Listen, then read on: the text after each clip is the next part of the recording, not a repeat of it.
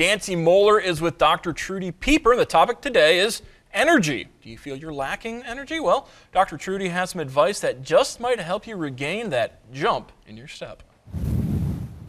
Well, Dr. Trudy Pieper is back with us, and Dr. Pieper is a naturopathic doctor, a Christian physician who is um, practicing in Johnstown, Ohio, which is close to Columbus. And um, we want to welcome you back to the show, and we're going to talk about energy or the lack thereof. Um, there are many of us that reach maybe even a certain age and, and feel like we just don't have the get up and go that we used to have. But there are some solutions that are relatively easy, correct? Absolutely. You do not need a five hour energy drink to give you energy. Mm -hmm. And uh, I see that way too much in my practice. I had a gentleman come in a couple of weeks ago. So I just can't sleep at night. I just can't sleep. I ever put my head down and we went over his diet, what he's eating, what he's doing. And I said, Do you do caffeine? No, no, I don't do coffee, don't do that. Eventually it came out that he drinks three of those five hour energy drinks a day. Oh, and that can be very dangerous. Oh my goodness, it's just terrible to your health. And I'm going, oh my goodness, what were you thinking? Right, right. this is not the way to do that. There's, like you said, there's some very easy things that we can do. First of all, the first tip is put more greens into your diet. Green means giddy up. So leafy green vegetables, anything that's green and has leaves will give you more energy. Start your day with a smoothie. Put a handful of spinach or kale in your blender with some almond milk and some flavorings and maybe half a banana.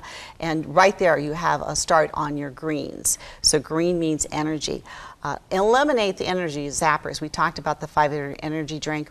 We also know, uh, we've talked in the past on some of our uh, conversations about hydration. Mm -hmm. If you're tired in the afternoon, you're probably just thirsty. Drink some water. Mm -hmm. Sugar, the uh, ebbs and tides of sugar in our diet and the big gulps with uh, 32 ounces of sugar will give you an immediate rush, but the downside of that is that you will have a downfall after that. So in order to, to have more energy, you need to be more stabilized in your blood sugar. One way to do that is protein.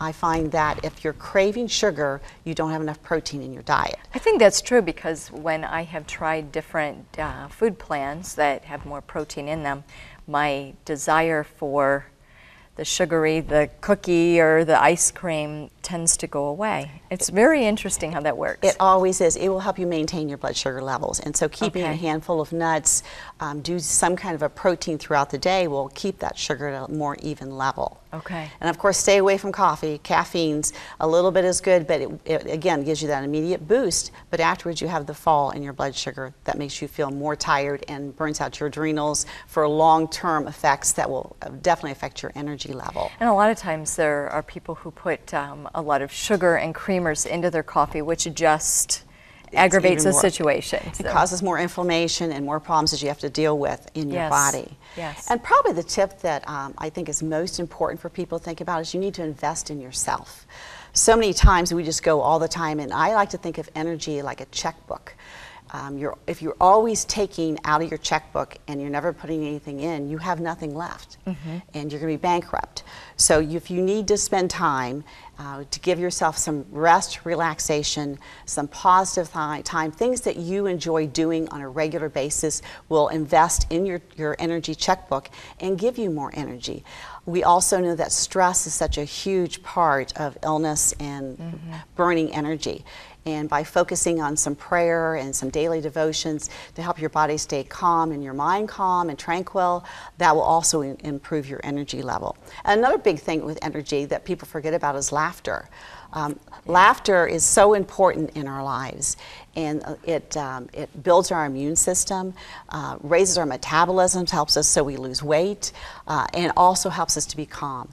So laughter, resting, getting outside, doing a little exercise, seeing some sunshine will help you invest in yourself.